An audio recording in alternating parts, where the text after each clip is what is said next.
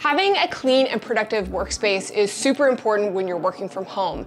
When you make your own hours and you're trying to motivate yourself to get out of bed and start your day, you wanna walk into a room or a space that's clean and that meets your needs and is organized. So in today's video, I'm gonna be walking you through my entire desk setup from my editing must-haves all the way down to my favorite desk accessories. And huge thanks to Logitech for sponsoring today's video. We'll talk a little bit more about them later in the video. Everything that I talk about in today's video will be linked in the blog post in the description box. That's our website. We post links to everything. So if you ever have any questions about our gear, paint colors, things that we use, most everything is on the blog. Let's start off with the hardware. This is like the main workhorse behind my command station. That's what I call this, my command station. So starting from the top, I have two Dell Ultra HD 4K monitors. These are the P2715Q 27 inch displays. And I have these monitors mounted to my desk with the fully pole mounted monitor arm. This is the dual pole monitor arm. Some of you guys were asking why I switched back to the two horizontals. And the only reason why I did that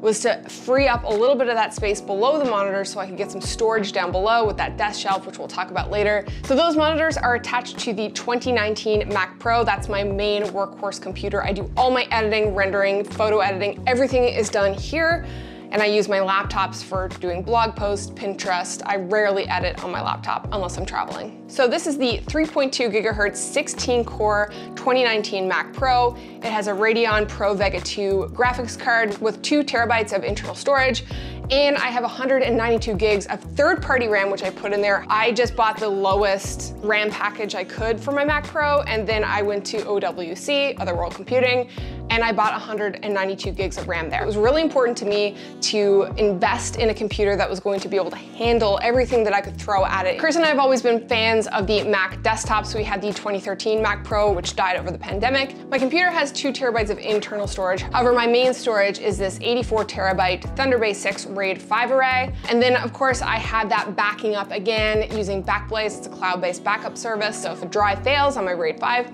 Hopefully I can rebuild it by inserting a new drive.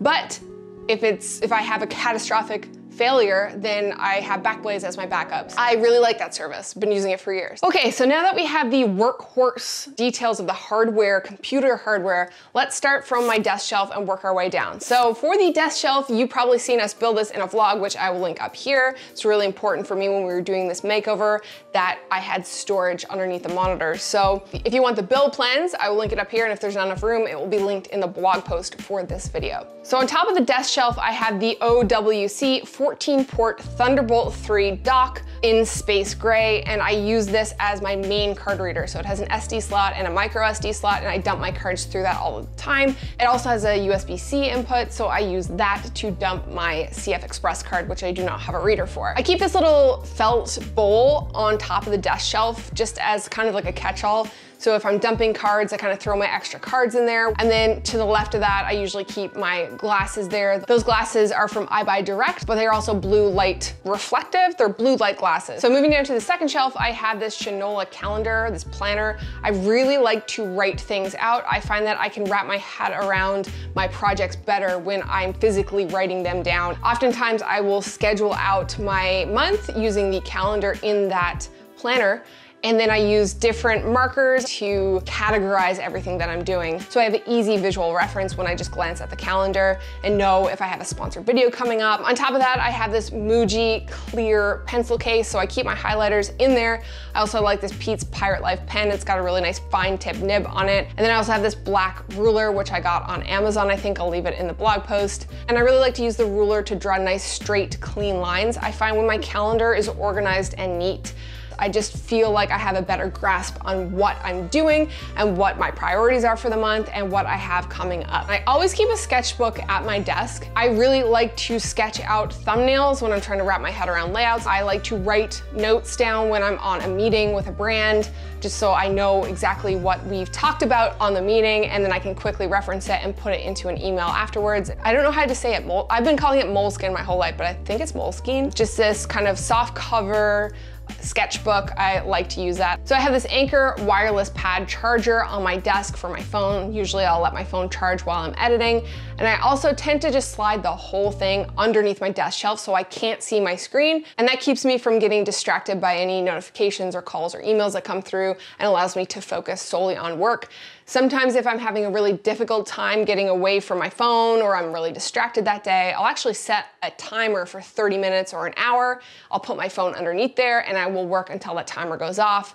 And usually by the time that timer goes off, I'm able to get back into the swing of things and I'm into the flow of work. Next to that, I have a black lightning cable. I like to keep that there for my AirPods or if Chris's phone is there and one is using the wireless charger, there's an extra one there to be plugged in. On the sides of my desk shelf, I'm rocking these Aurion Legacy speakers speakers. I did get a few comments about my speaker placement. I'm not an audiophile. I don't really care. As long as I can hear my music and hear my audio, I double check it on my phone and my TV anyway after I've made a video, so I'm not too concerned about the placement. Moving to the actual physical desktop, you obviously can't do work without a keyboard and mouse, which brings us to our sponsor, Thank you Logitech for sponsoring today's video. They actually sent me their new MX keys for Mac and their new MX Master 3 for Mac mouse. I love the mouse and the way it feels. It's space gray, so it kind of matches the whole setup. It's got the top scroll wheel that you can change the modes by just pressing the button. So you can scroll super, super fast or slower. And then they had this thumb wheel, which is so amazing. So when I was in the timeline in Premiere, I could set it up so I could just quickly flick my thumb and roll across the timeline super quickly. Something else I loved about this mouse was where the charging port is. It's on the front, like it should be. A proper mouse should have a charging port on the front and not on the bottom. Yes, I'm throwing shade. You can actually connect this to three different devices. The keyboard is low profile, but it's really substantial. So it kind of stays in place where you want it. The keys feel phenomenal. I find the sound of the keyboard really satisfying. It's like a little ASMR moment.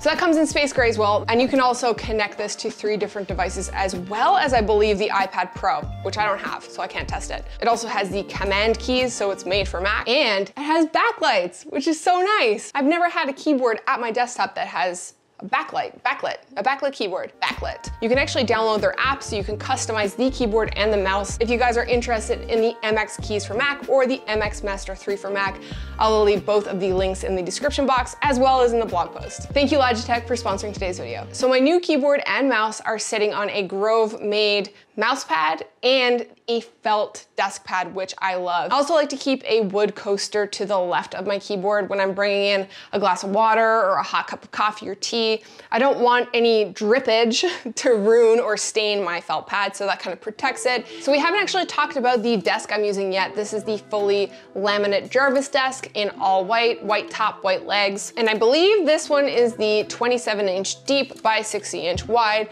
I've got a power grommet on one side, so that's what what I keep my lightning cable and my charge pad plugged into as well as the lamp. And then the other side is just an open hole so I can drop all of those cables from my desk all the way down to my UPS, my Mac Pro, down below the desk. This is a standing desk, it goes up and down, which is fantastic. So I'm able to kind of change my position throughout the day, whether I wanna be sitting in this chair that I'm sitting in right now, which is the Felix office chair from Structube. Did go ahead and replace the wheels on the chair with these owl office chair wheels that I bought from Amazon, which made a huge difference. But if I'm not sitting here, I am standing, and when I'm standing, I put the movement anti-fatigue mat on the floor from Fully. It allows me to extend my standing time. And then if I'm don't wanna be standing, but I don't wanna be sitting in my chair, I use the Tic Tock stool, and that kind of is like a good in-between where I can kind of perch on that and edit. So I do find that changing my positions during the day helps me be a less fatigued at the end of the day and helps with a bit of pain but I also find it keeps me a little bit productive too. If I'm moving I don't get lazy. I also keep a candle on my desk because I like nice smells.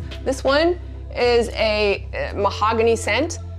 Oh, smells like delicious men in the woods Anyway, it smells really good. I like to light that every now and then, get a good smell going, which makes you wanna be in here, which is, the whole purpose, right? You wanna have a productive space that's clean, organized, smells nice, because you wanna be here. You wanna be productive and you wanna be working. But not all the time, it's important to have a work-life balance. All right, I got a few extras on the go here that kind of helps keep me organized and productive. First thing is this filing cabinet that's to the right of my desk. On top of my filing cabinet, I have a plant. For me, I love having plants around. They just make me so happy. So this room is a little bit darker. So I have the snake plant that kind of hangs out here and it's doing really well. In the filing cabinet, in the top cabinet, I keep a bunch of extra pens, scissors, post-it notes, push pins, cloths, extra things that I might need. And then in the second drawer, I have a bunch of spare extra notebooks. I'm filling up notebooks all the time. I love notebooks, so it's great to have a good collection of them. And then towards the back, I have my Pantone swatch books. I really try to maintain a really healthy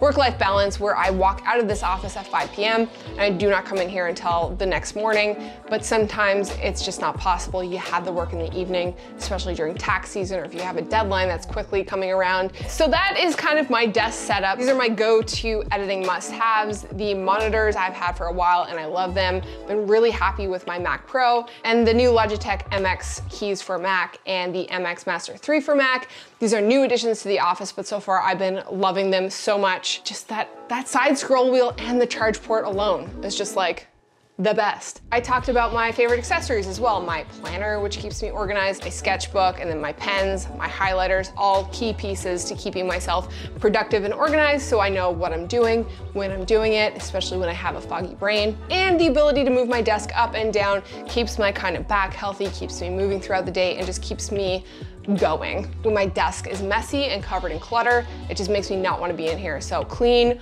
organized space keeps you productive, keeps your brain going, keeps it good. And I hope you guys enjoyed this video. Let me know in the comments if you guys have any must-haves that keeps you organized throughout the day, things that you love, things that you're using. Leave a comment down below and let me know. Thanks so much for watching and thanks Logitech for sponsoring today's video. We'll catch you guys in the next one. I'm starting to lose my voice. My God, Okay, I gotta change the battery. Jeez, Louise, lost a battery there. It smells like, like a hot dude wearing a plaid, cutting wood. It smells like a sexy man in the forest. It smells like deliciousness.